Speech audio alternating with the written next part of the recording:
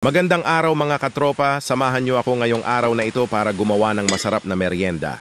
Una maglagay ng kaunting mantika sa kawali, painitin at ilagay ang hiniwang isang sibuyas. Isunod ang bawang, halo-haloin lang hanggang sa mag-golden brown. Isunod natin ang hiwang patatas sa malilit at igisa ng maigi para kahit ma-overcook ay hindi siya nadudurog. Itong ating patatas ay kalahating kilo. Ilagay na rin natin ang kalahating kilong karne ng baboy. Haluin lang hanggang sa mamoti ito.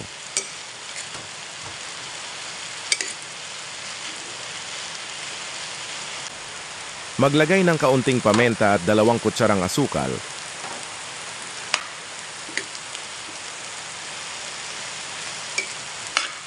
Maglagay ng konting asin, tatlong kutsarang all-purpose flour.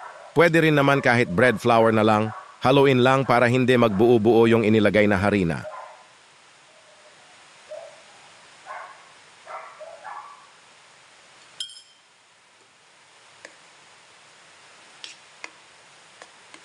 Maglagay ng tubig, wag dadamihan, pero wag din naman kulang kilangan yung papantay sa laman ng kawali ang dami ng tubig at haluin lang para hindi mamuo ang inilagay nating all-purpose flour at hayaan natin kumulo bago natin ilagay ang ibang sangkap na pampasarap.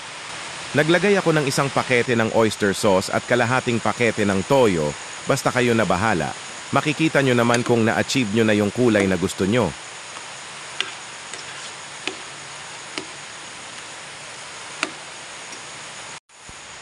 Naglagay din ako ng kaunting betsin. Optional lang po ang paglalagay nito. Alam ko naman na hindi lahat ay gumagamit nito sa pagluluto dahil nakakakanser daw. Kayo naniniwala ba kayo doon?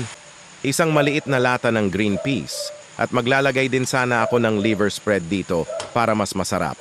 Pero dahil maulan dito at tinatamad akong lumabas para bumili, ay hindi na ako naglagay. Pero masarap din naman kahit wala iyon. Dahil nilagyan natin ito ng harina, ay kailangan nyong haluin ng tuloy-tuloy para hindi magtutong ang ilalim nito. At kapag achieve nyo na ang lapot na gusto nyo, ay ilagay sa isang malinis na lagayan, ay palamigin, pwede nyo rin ilagay sa freezer para mas madali o hindi kayo mahirapan maglagay ng palaman mamaya.